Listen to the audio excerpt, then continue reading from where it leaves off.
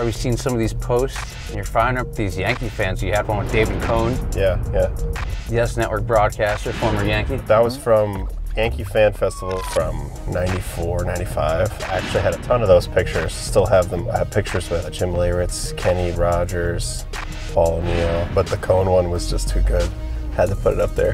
The cone one was cool because you could tell the joy in your face taking that photo, and it was Yeah. one of your favorite players. Yeah, at that time, players felt less accessible, I think, than they do now. So, like, when you see, like, one of your idols like that, you're kind of, like, frozen in the moment. But I was, like, so excited. I just remember that. You're getting a chance to see a lot of former Yankees. What's that been like? Just that entire experience of seeing some of your idols, and like next thing you know, you're getting dressed next to them. It's crazy. Uh, you know, you got Pettitte walking around, Soriano, Reggie, just like a lot of people that obviously I grew up knowing about or watching or going to stadium and watching. They're, they're a little bit different than other like older players that I've met in the past, like with other teams. Since those are guys that I really grew up watching and rooting for, like I'm kind of semi starstruck by them. So I just like say hi, shake hand, but that's about it.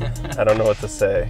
The Babe Ruth comment, which you said Yeah. during the off season, and I think you're on any and every show Yep. that week afterwards. Defending it.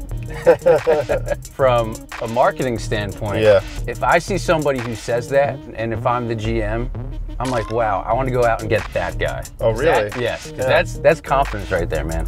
And I know that the context Well, that you said it in. yeah. But like, I want that player on my team. Well, there was some writer who wrote some article saying that that's the exact reason the Yankees shouldn't sign me, because I'm I got bad juju from that, which made me laugh. And then I was like, maybe they won't. Like that would be terrible. But no, um, he was a baseball player, great player, legendary player, from a really long time ago. Definitely, probably the wrong guy to use in that example I was trying to make about what I was talking about. But that being said, like it's kind of been funny to see the reaction to it. I even saw that MLB The Show 19. They have like me facing Babe Ruth in the trailer, so it's kind of running away for running away from me a little bit. But you know, more people know who I am because of it. Should have been marketing.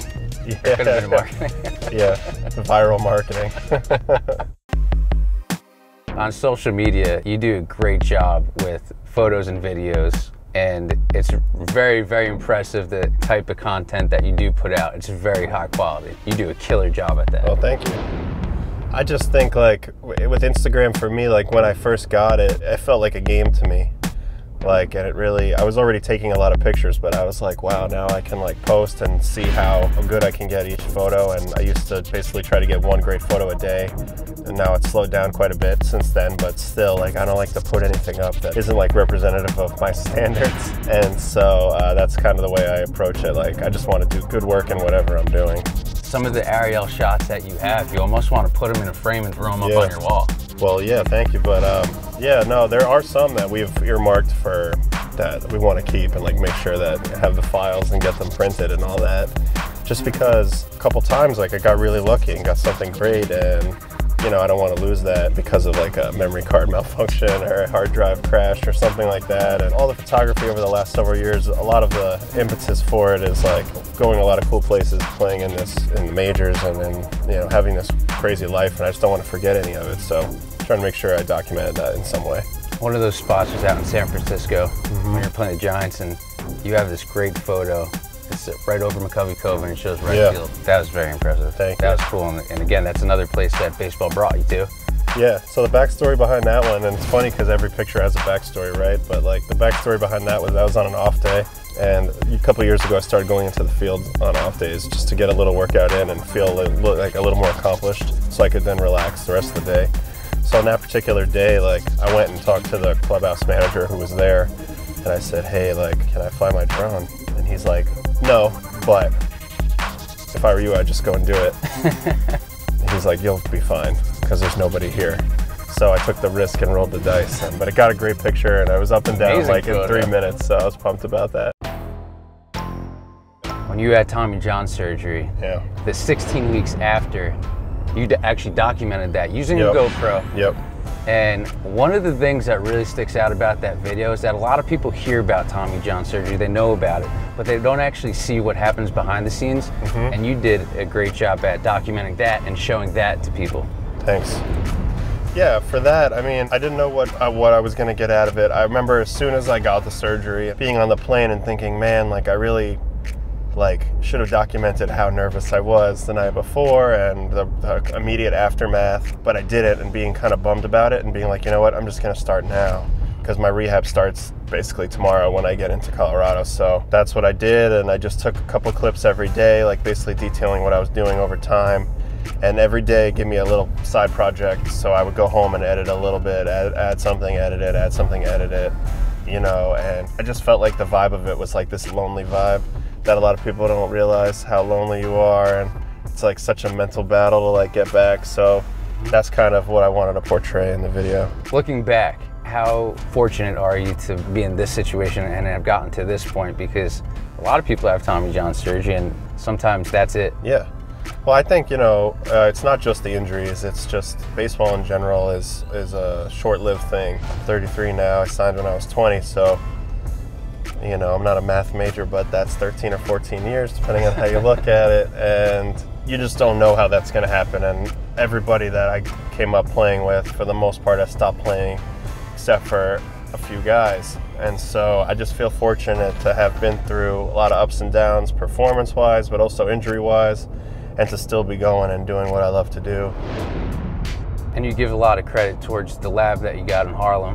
For me, it was more of like a place that you can go and work on your on your craft and not be on anybody else's time. The beautiful thing about the lab situation is that I could go any time of the day. I could go in the middle of the night when I have the itch and I don't have to rely on other people's schedules and I had like a target and a bucket of balls. I could do my throwing and I don't need a partner and I can go get my mind my mind right there. And then at the same time it's a place that you can open up to friends and to other people who have shared goals and try to use it as um, you know a great resource for them to get better. So all of the technology stuff, like that's just me embracing any possibility of a way to get better. So I was willing to do that. Um, but for me, just having the space was the most unique thing. I'd never been in a situation like that before where like I had something that was my own and I could use it as I wanted.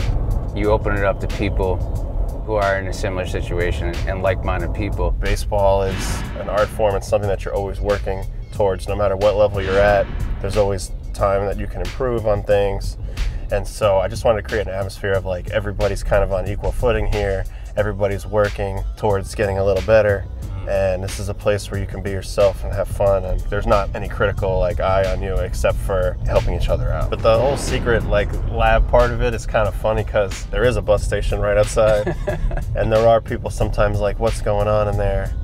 and I love that aspect of it that it's something happening in in a place that you wouldn't expect. So the original lab location will be no more. It's probably going to end up being a Chipotle or a or an escalator down to an underground shop, right? But I still want to continue to train the same way and continue to try to find a, a place somewhere and make the lab 2.0 and basically try to keep it around because I think it's a good thing and a useful thing. And for me, and if I want to be my best, I actually think I kind of need something like that.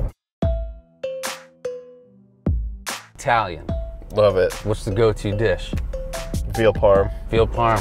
Yeah. Do you make it yourself? No, but I, could, I mean, I, maybe I could, but generally no. I trust the veal to the professionals. I don't have the full accent, but I, you know, on some stuff, calamar, mozzarella, yeah, capicola, mortadella, like ricotta cheese. People will say like ricotta, and you're like, I don't think that's spelled that way, but where's the H? Yeah. Your last name. Yeah. Being from the area, being number zero, it seems like there's a lot of potential for a sweet nickname. Yeah, I don't know. I'd be curious to see if what what what else comes up down the pike. But every male in my family has always ended up being an Otto at some point, and that's been me for a while now. And people just get comfortable calling me O or Otto. People come up with funny stuff around the number zero, but we'll see what they we'll see what they come up with. I like the number zero. Seen it so far on the jersey looks pretty sweet. Yeah, I don't know what it looks like because I can't see my back, but. It's it's there. But I'm sure everybody lets you know that you're number zero. Yeah, so many people are like, oh, I just can never get used to that. Never can never get used to seeing that. I always forget about it.